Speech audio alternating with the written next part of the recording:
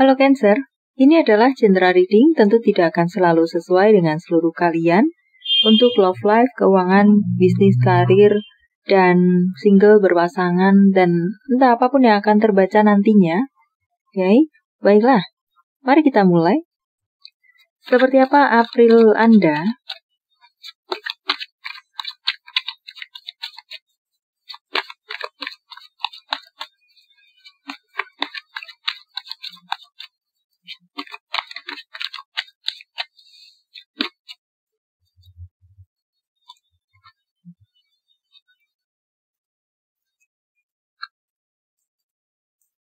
Beberapa dari Anda sepertinya yang bermasalah, terlebih mungkin ada ikatan kaitannya dengan hukum, sepertinya akan memenangkan situasi Anda di sini. Ya, congratulations. Baiklah. Ada beberapa dari Anda mungkin yang akan bercerai di sini.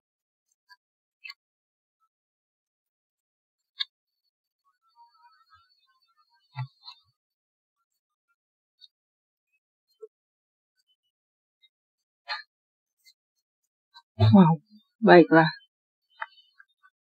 Beberapa dari Anda dalam hubungan, ya, saya saya tertarik untuk membaca hubungan dahulu, hubungan asmara di sini. Untuk Anda-Anda yang berpasangan, mungkin ada beberapa dari Anda yang memang memiliki hubungan sudah di ujung tanduk, sulit untuk diselamatkan, maka terjadi perpisahan atau perceraian untuk Anda-Anda yang sudah menikah. Dan di sini lebih banyak disebabkan oleh karena masuknya orang lain dalam hubungan kalian. Okay. Rasa sakit hati yang sudah bertumpuk-tumpuk juga beberapa dari Anda sebagai pemicu untuk menyudahi hubungan Anda. Beberapa dari Anda sudah menahan diri, mencapai titik terendah Anda, terlalu lelah untuk bisa mengalah dan lain semacamnya. Pada akhirnya Anda memilih untuk melepaskan hubungan ini saja. Beberapa dari Anda menjalani masih mungkin berada dalam hubungan yang menyakitkan dan saya rasa di sini lebih semakin berjalan ke arah yang memburuk daripada membaik. Eh, walaupun Anda sudah berusaha, walaupun Anda sudah berjuang, but stuck atau berjalan semakin memburuk. Terlebih jika urusannya dengan third party di sini.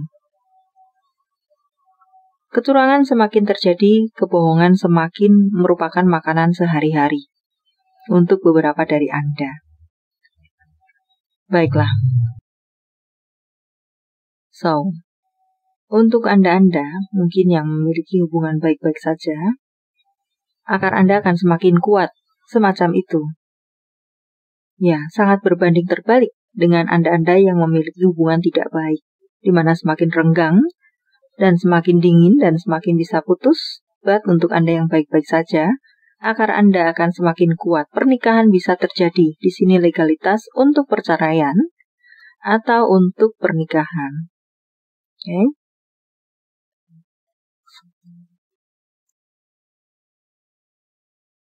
Dan di sini mungkin rasa sakit hati secara general di luar hubungan asmara ada ketidakjujuran yang pada akhirnya mungkin terbongkar. Yang pada akhirnya setelah mereka sembunyikan selama ini dari Anda terbongkar. Ya, hubungan sosial, hubungan pertemanan, hubungan yang ternyata dia menusuk dari belakang, kira-kira semacam itu sesuatu yang disembunyikan, terbongkar, dan menyakitkan. Dan itu adalah sesuatu yang menyakitkan, yang tidak Anda sangka-sangka atau yang dilakukan oleh orang yang tidak Anda sangka berpotensi menyakiti Anda. Maka hati Anda hancur berantakan untuk beberapa dari Anda yang mengetahui atau yang resonate dengan apa yang saya sampaikan. Beberapa dari Anda, saya rasa di sini Hmm, ada sebagai contoh, Anda mungkin menyimpan rahasia bersama seseorang. Anda curhat terhadap seseorang. Okay? Dan selayaknya orang tersebut merahasiakan apa yang menjadi curhatan Anda tersebut, tapi mungkin dia ceritakan kepada orang lain, kebocoran sebuah rahasia untuk beberapa dari Anda lainnya. So, baik-baiklah Anda untuk untuk apa ya? menyampaikan sebuah rahasia kepada seseorang. Hei, tidak semua orang bisa menjaga rahasia Anda. Ya, semoga bisa dipahami. Baiklah. Saya rasa di sini untuk beberapa dari Anda, hmm, mungkin ada yang akan berganti karir saya rasa di sini, atau mungkin memang mau tidak mau, suka tidak suka, Anda harus berganti karir. Sepertinya demikian.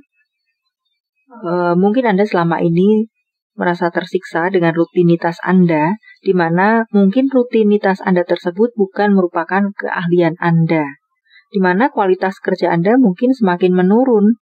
Bisa beberapa dari Anda resign sendiri atau beberapa dari Anda mungkin mengalami pemutusan hubungan kerja di sini.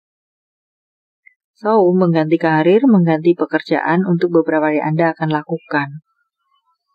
Ya, baiklah dari karyawan menjadi wira swasta atau vice versa. Bisa juga semacam itu. Atau berganti kantor ke kantor lainnya. Dan carilah yang lebih sesuai untuk Anda sehingga tidak menjadi beban untuk Anda kerjakan tiap harinya. Baiklah. So, untuk beberapa dari Anda di sini, mungkin di bulan April berhasil untuk move on saya rasa karena Anda mungkin sudah merasa tidak layak lagi dalam sebuah zona. Mungkin selama ini Anda bertahan untuk tetap berada di sana, entah apa pun alasannya.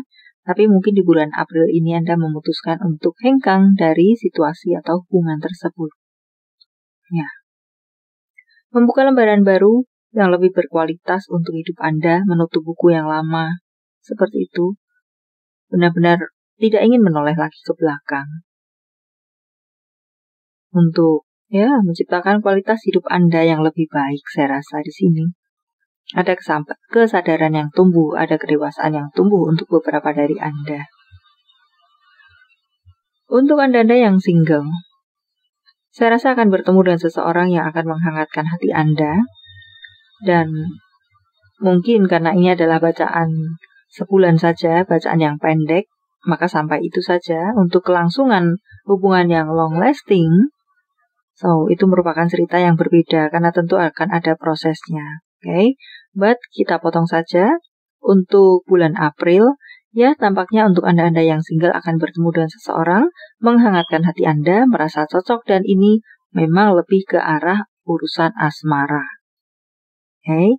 tidak sampai batas pertemanan saja, lebih memang menyentuh hati Anda untuk urusan asmara.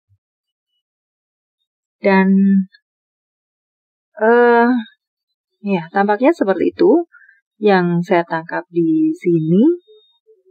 Pekerjaan, rezeki.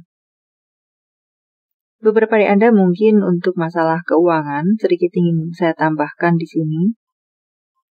Perlu menjaga baik-baik mungkin keuangan Anda kah karena berpotensi mungkin ada kebocoran keuangan yang bisa jadi ini dilakukan oleh orang dekat Anda atau hutang piutang yang pada akhirnya song tidak terbayarkan, atau beberapa dari Anda bertemu dengan masalah keuangan, uang dilarikan orang, bisa juga semacam itu. Maka jagalah baik-baik um, keuangan Anda, dan ya, sampai di sini dulu. Semoga bermanfaat. Thank you for watching. See you.